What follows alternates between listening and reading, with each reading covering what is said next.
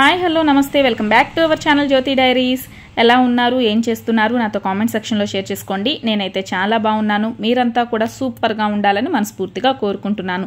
ఉగాది వచ్చేస్తుంది కదా సో మనకి హౌస్ని డీప్ క్లీన్ అనేది చేస్తూ ఉంటాము రెగ్యులర్గా అయితే మనం ఎప్పుడూ కూడా శ్రావణ మాసంలోనూ అలాగే సంక్రాంతి పండక్కి చేసినట్టు పూర్తిగా డీప్ క్లీనింగ్ కాకపోయినా కానీ హౌస్ని నీట్గా క్లీన్గా మెయింటైన్ చేయడానికైతే ప్రతి ఫెస్టివల్కి కూడా మనం అందరం ట్రై చేస్తూ ఉంటాం కదా.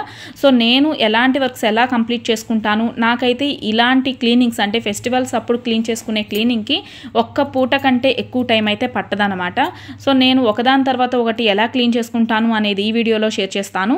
దీనివల్ల ఒక చిన్న మోటివేషనల్ వ్లాగ్గా యూస్ అవుతుంది అని నేనైతే నమ్ముతున్నాను అనమాట మరి ఇంకెందుకు ఆలస్యం? వీడియోలోకి వెళ్ళిపోదామా? వీడియోలోకి వెళ్ళే ముందు మన ఛానల్ ఎవరైనా ఫస్ట్ టైం చూస్తున్నట్లయితే లైక్ చేయండి ఫ్రెండ్స్ అండ్ రిలేటివ్స్కి షేర్ చేయండి అలాగే సబ్స్క్రైబ్ చేసుకోవడం మర్చిపోవద్దు. ముందుగా ఏ పని చేసినా కానీ అంటే క్లీనింగ్ అనే వర్క్ కనుక నేను చేయాలి అనుకున్నప్పుడు డోర్ కటన్స్ అలాగే సోఫా మీద ఉన్న కవర్స్ అన్నీ కూడా తీసేసి వాషింగ్కి వేసేవైతే వాషింగ్కి వేసేస్తూ ఉంటాను. వాష్ చేయాల్సిన అంటే హ్యాండ్ వాష్ చేయాల్సినవి అయితే నానబెట్టేసుకొని అయితే వచ్చేస్తానమాట ముందు వీటిని చేస్తే మనకి సగం పని పూర్తయిపోయినట్టు అనిపిస్తూ ఉంటుంది నాకు.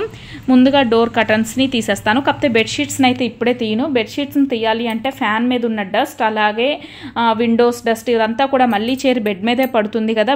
బెడ్ మీద పడితే బెడ్ని క్లీన్ చేసుకోవడం కొంచెం కష్టమవుతుంది అని చెప్పి బెడ్షీట్స్ని అయితే క్లీన్ చేయకుండా ముందైతే డోర్ కర్టన్స్ అన్నిటినీ కూడా వేసేసుకున్నాను. ఆ తర్వాత కిచెన్లో గనక మనకి కంప్లీట్ వర్క్ అయిపోయింది అని అంటే ఫిఫ్టీ పర్సెంట్ వర్క్ కంప్లీట్ అయిపోయినట్టు ఉంటుందన్నమాట. అందుకని నెక్స్ట్ వెంటనే కిచెన్లోకి వచ్చేసేసి మనకి ఆయిల్వి అవన్నీ కూడా కౌంటర్ టాప్ మీద పెడుతూ ఉంటాం కదా మిక్సీ గ్రైండర్ ఇవన్నీ. సో వాటి మీద మనం దులిపిన డస్ట్ అంతా పడకుండా ఉండాలి అని ఒక పాత బెడ్షీట్స్ కానీ లేదంటే ఒక పాత శారీస్ కానీ మనకి దుప్పటి అలాంటివన్నీ కూడా ఉంటాయి కదా వాటిని అయితే అరేంజ్ చేసేసుకున్నాను. అరేంజ్ చేసుకున్న తర్వాత రీసెంట్గానే హౌస్ షిఫ్ట్ అయ్యాం కాబట్టి ఎక్కువ డస్ట్ ఏమీ లేదు కాబట్టి నేను బూజుకర్ర అలాంటిది ఏమీ కూడా యూస్ చేయలేదన్నమాట. నార్మల్గా మనం ఇల్లు ఊడ్చుకునే చీపురు ఉంటుంది కదా దాంతోనే నేను డస్టింగ్ అంతా చేసేస్తున్నాను.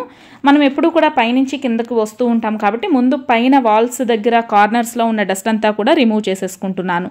అలా రిమూవ్ చేసుకున్న తరువాత అప్పుడు ఫ్యాన్స్ ట్యూబ్ లైట్స్ ఇలాంటివన్నీ కూడా క్లీన్ చేసుకుంటాం అనమాట సో అలాగే స్విచ్ బోర్డ్స్ దగ్గర ఉండే అంత డస్ట్ మనకి దాని చుట్టూతో కూడా డస్ట్ అనేది పేరుకుపోతూ ఉంటుంది కదా బూజు పడుతూ ఉంటుంది. సో ఆ బూజు అంతా కూడా క్లీన్ చేసుకుంటూ ఉన్నాను. రెగ్యులర్గా మనం హ్యాండీగా అంటే మనకి విండోస్ దగ్గర ఉన్న బూజు అవనివ్వండి కార్నర్స్లో డోర్స్ దగ్గర ఉన్న బూజు అవనివ్వండి మనం ఇల్లు ఉడ్చేటప్పుడు వాటిని చూస్తే వెంటనే మంగళవారం శుక్రవారం కాకుండా మిగిలిన రోజుల్లో అయితే వెంటనే క్లీన్ చేసేసుకోవచ్చు అనమాట అలా క్లీన్ చేసేసుకుంటూ ఉంటే మనం ఇలా పూర్తిగా డస్టింగ్ చేసేటప్పుడు చాలా ఈజీగా మనకి వర్క్ అనేది కంప్లీట్ అయిపోతూ ఉంటుంది. సో కిచెన్లో అంతా కూడా డస్టింగ్ అయిపోయిన తర్వాత వెంటనే హాల్లోకి వచ్చాను.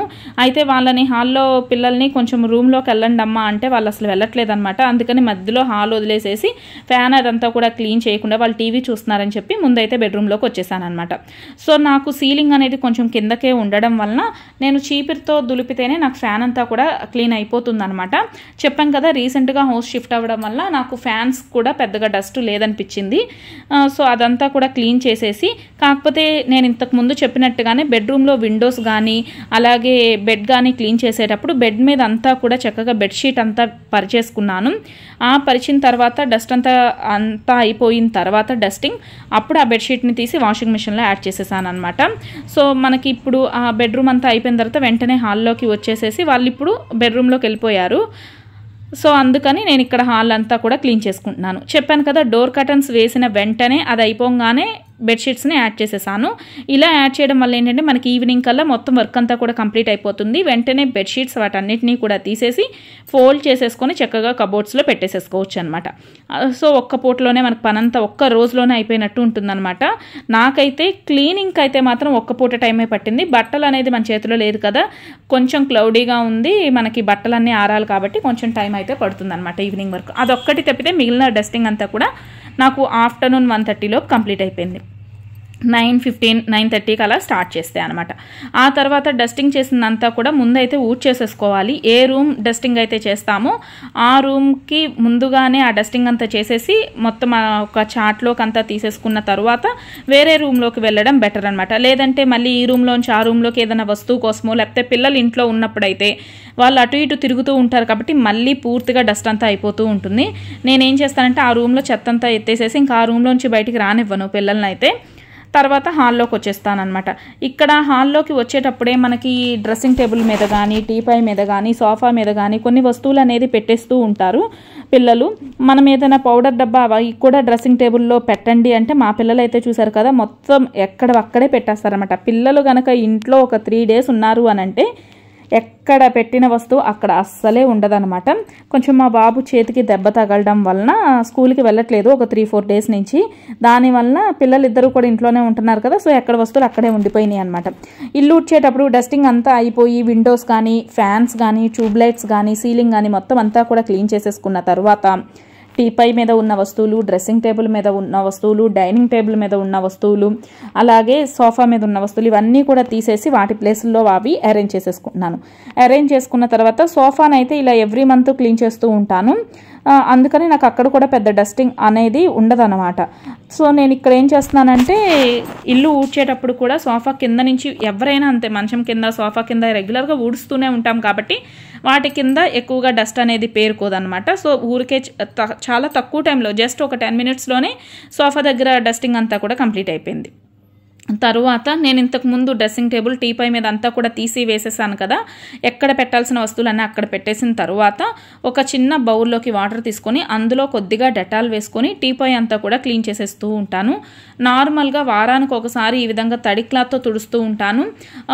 డైలీ మనం ఎక్కడైతే కార్నర్స్ ఉంటుందో అక్కడ చీపురుతో డస్ట్ అంతా కూడా లాగేస్తూ ఉంటానన్నమాట. పూర్తిగా ఇలా ఒక డెటాల్ తీసుకొని కానీ లేదంటే ఒక క్లీనింగ్ సొల్యూషన్తో క్లీన్ చేయడం అనేది మంత్లీ వన్సే చేస్తూ ఉంటాను.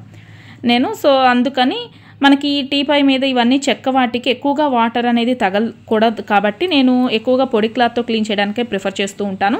ఎప్పుడైనా ఒకసారి ఈ విధంగా క్లీన్ చేస్తూ ఉంటాను అనమాట సో టీపై మీద అయిపోగానే ఆ వాటర్ పడేసేసి మళ్ళీ ఇంకొంచెం వాటర్ తీసుకొని అందులో డెటాల్ ఏమీ యూజ్ చేయలేదు. డ్రెస్సింగ్ టేబుల్కి నార్మల్గా ప్లెయిన్ వాటర్తోనే ఈ విధంగా క్లీన్ చేస్తున్నాను. అయితే క్లీనింగ్కి యూస్ చేసే ఈ స్పాంజ్ వైప్ వేరు కిచెన్ దగ్గర యూస్ చేసే స్పాంజ్ వైప్ వేరు. కిచెన్ దగ్గర యూస్ చేసేదానికి కొంచెం ఆయిల్వి జిడ్డు మరకలు ఉంటాయి కాబట్టి నేనైతే ఇక్కడ ఒక వేరే స్పాంజ్ వైప్ అయితే మెయింటైన్ చేస్తూ ఉంటాను. అలాగే టీపై మీద ఫ్రూట్స్ కానీ ఇలాంటి బిస్కెట్స్ ఇలాంటివన్నీ కూడా అరేంజ్ చేసేసుకున్నాను. పిల్లలకి ఈజీగా తీసుకోవడానికి అవైలబుల్గా ఉండేటట్టుగా ఈ విధంగా పెట్టుకుంటూ ఉంటానన్నమాట. ఆ తర్వాత టీవీ దగ్గర కూడా చేసేస్తున్నాను అనమాట క్లీనింగ్ అనేది. సో కొన్ని కొన్ని కొన్ని తీయాల్సినవి పిల్లలవి షార్ప్నర్స్ పెన్సిల్స్ అవన్నీ కూడా ఎక్కడ పడితే అక్కడే వదిలేశారు.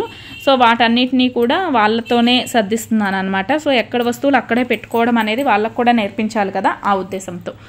ఆ తర్వాత నేను ఆల్రెడీ ఈ టిప్ని టిప్స్లో షేర్ చేశాను అనమాట కబోర్డ్స్ క్లీన్ చేయడానికి తినే సోడా అలాగే వెనిగర్ రెండు కూడా బాగా వర్క్ అవుతాయని ఆల్రెడీ చూపించాను. సో జిడ్డు మరకు ఉంటే గనక ఆయిల్ని యూస్ చేసుకోవచ్చు. దానివల్ల ఏంటంటే ఈజీగా రిమూవ్ అయిపోతుంది. ఆ తర్వాత ఒక పొడి క్లాత్తో తుడిచేసుకోవచ్చు. ఇక్కడ ఏంటంటే జిడ్డు మరక కాదు కానీ పెయింట్ మరకలు అలాంటివి చిన్న చిన్నవి ఉన్నాయి. పైగా షైనింగ్ అనేది లేదనమాట కబోర్డ్స్. అందుకని నేనేం చేశానంటే కొద్దిగా బౌల్లో తినే సోడా వెనిగర్ కలిపి ఈ విధంగా క్లీన్ చేసేసుకుంటున్నాను. ఈ విధంగా క్లీన్ చేయడం వల్ల కొంచెం షైనింగ్ అనేది వచ్చింది. దీని తర్వాత హౌస్ అంతా కూడా పూర్తిగా డస్టింగ్ అంతా కూడా కంప్లీట్ అయిపోయింది కదా. ఇప్పుడు నేను మాబ్ అనేది పెట్టుకున్నాను. యాక్చువల్లీ మాబ్ పెట్టేటప్పుడు వీడియో షూట్ చేశాను కానీ అది పాజ్లోనే ఉంది. నేను షూట్ చేశాను అనుకున్నాను అనమాట మాప్ కూడా పెట్టేసుకున్న తర్వాత సోఫా మీద మ్యాట్స్ కానీ డోర్ కర్టన్స్ కానీ అన్నీ అరేంజ్ చేసేసుకున్నాను. వేరేవి Uh, సో మన దగ్గర ఎప్పుడు కూడా టూ సెట్స్ అనేవి ఉంటూ ఉంటాయి కాబట్టి వాటిని అరేంజ్ చేసేసుకున్నాను.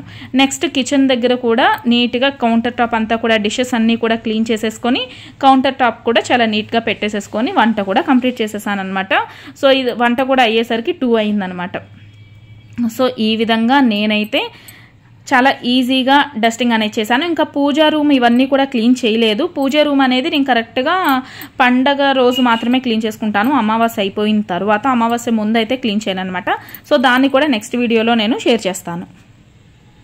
అందరి ఇల్లు ఒకేలా ఉండవు. ఒక్కొక్కరికి ఒక్కొక్క టేస్ట్ ఉంటుంది కాబట్టి క్లీనింగ్ చేసేటప్పుడు కూడా దేని తర్వాత ఏది కంప్లీట్ చేసుకోవాలి అనేది ముందే గనక మనం డిసైడ్ అయితే ఇది దీని తర్వాత ఇది కదా అని వెంటనే ఫాలో అవ్వడానికి ఈజీగా కంప్లీట్ చేసుకోవడానికి ట్రై చేస్తూ ఉంటాము. సో మీ అందరికీ కూడా ఈ క్లీనింగ్ టిప్స్ అనేవి యూజ్ అయినాయి అని నమ్ముతూ ఈ వీడియో కనుక మీకు నచ్చినట్లయితే లైక్ చేయండి ఫ్రెండ్స్ అండ్ రిలేటివ్స్కి షేర్ చేయండి అలాగే సబ్స్క్రైబ్ చేసుకోవడం మర్చిపోవద్దు. సబ్స్క్రైబ్ చేసిన తర్వాత పక్కనున్న బెల్ ఐకాన్ని యాక్టివేట్ చేసేయండి. దాని ద్వారా నేను వీడియోస్ అప్లోడ్ చేసిన వెంటనే నోటిఫికేషన్ మీ వరకు వచ్చేస్తుంది.